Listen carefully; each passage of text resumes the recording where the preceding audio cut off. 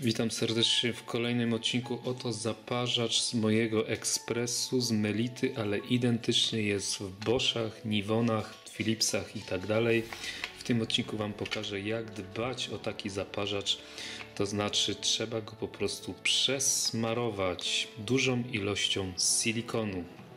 Oczywiście to musi być silikon przewidziany do tego typu rzeczy Grease for Coffee Machines. Przed smarowaniem warto sobie tutaj popatrzeć, pobawić się, gdzie są jakie prowadnice, co po czym jeździ. To wszystko się tu przesuwa i tak dalej. Także mamy jakieś tam kołeczki, które jeżdżą po prowadnicach i to wszystko ma być nasmarowane.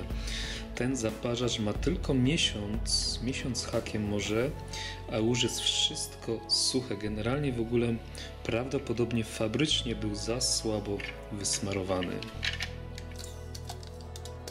Tutaj ściągniemy sobie tę klapkę. Ok, zaczniemy tutaj od głównej prowadnicy tutaj w środku. Mamy taką rynienkę i tam w środku po tej rynie, rynience jeździ taki właśnie jakby bolec. A nawet dwa z każdej strony. Po prostu to jeździ po tej prowadnicy. Tu mamy bolec ten. Tam w środku w tej rynience on jeździ. Jeden jest na dole, a drugi jest u góry. Także mamy w sumie po dwa bolce na każdą stronę.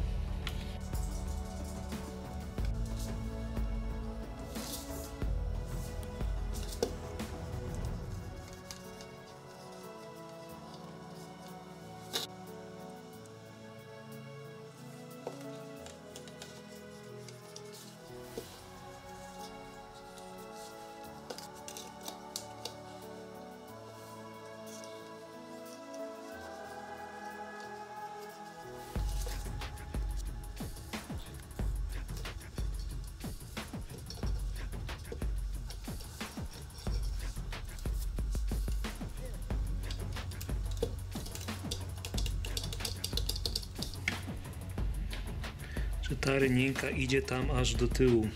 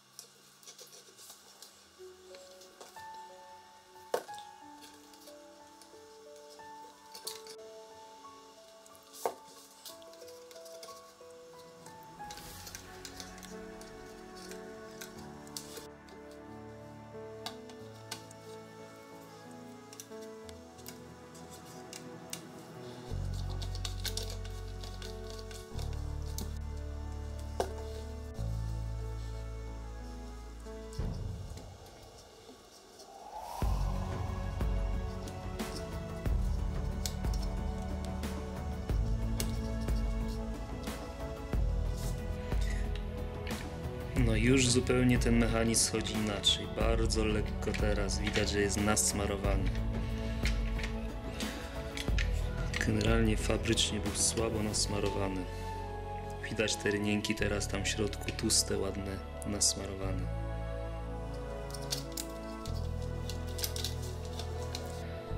Teraz tu na tym walcu mamy uszczelkę, to też musi być nasmarowane.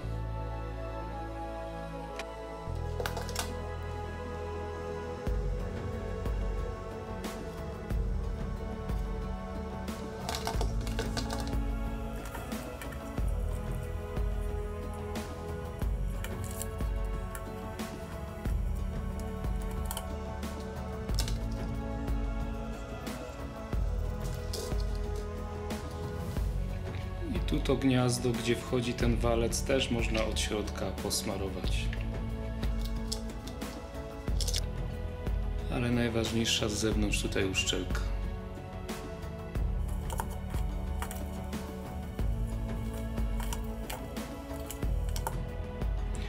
Tutaj teraz widzimy, że ten wałeczek kręci się tutaj w tych dwóch ząbkach, więc jego też trzeba nasmarować.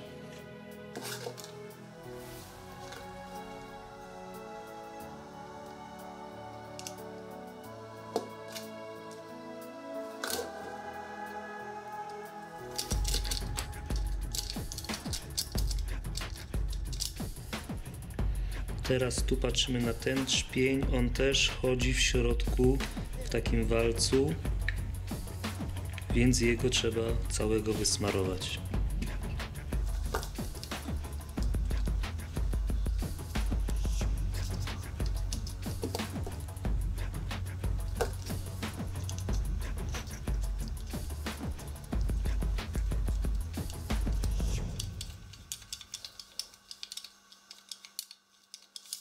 Oglądając ten mechanizm widzimy też, że ta krawędź tutaj brązowa pracuje i ociera się tutaj o tę czarną krawędź.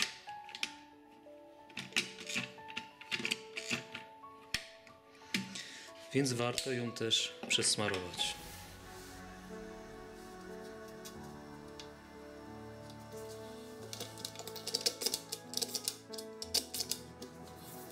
Smarujemy wszystkie inne uszczeleczki.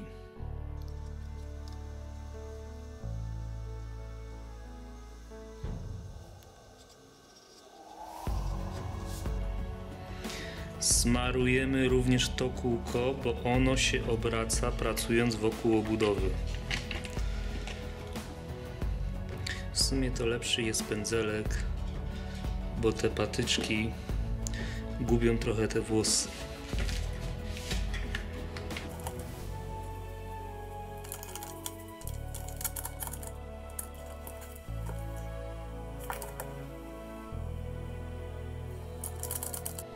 No i do tych walców też jakoś próbujemy dostać się od tej strony, od środka.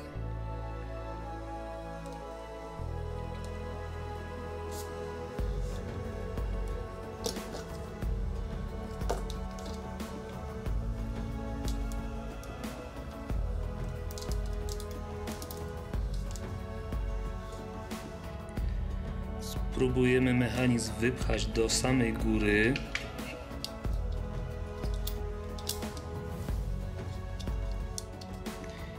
Tu widzimy kolejny mechanizm, ten złoty.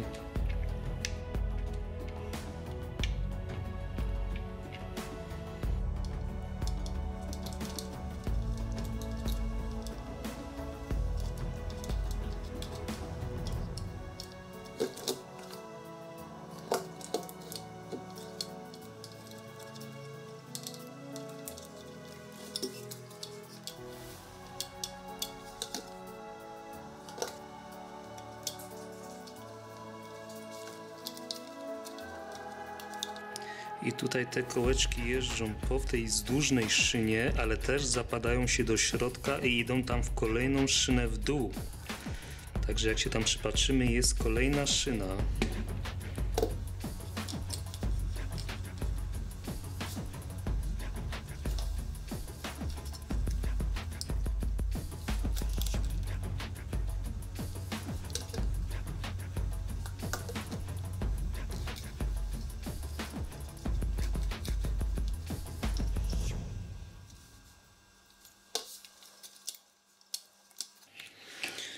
Dobra, i ściągamy teraz ten mechanizm dół. On jest troszeczkę zablokowany, nic na siłę, ale musimy go w dół ściągnąć.